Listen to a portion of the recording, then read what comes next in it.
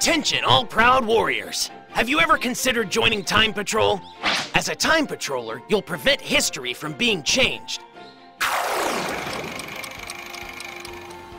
Our duty is to protect everyone's memories and help return history to the way it should be.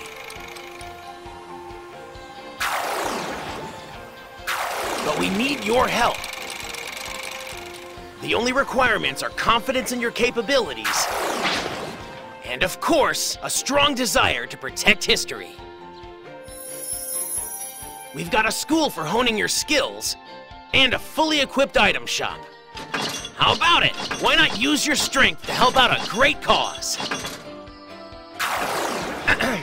We're always on the lookout for powerful warriors. Okay then, listen carefully. To maintain safety here, in Conton City, home to the Time Patrol, there are a few rules you must keep.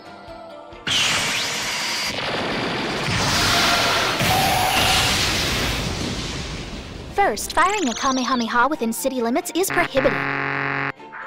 Time patrollers wishing to fly when not on duty are required to obtain a flying license.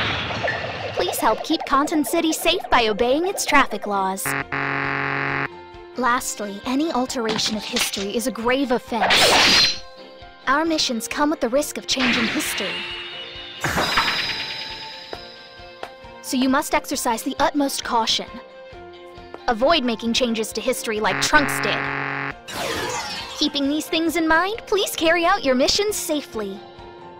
For the sake of the world and its history, We look forward to welcoming each of you to the Time Patrol.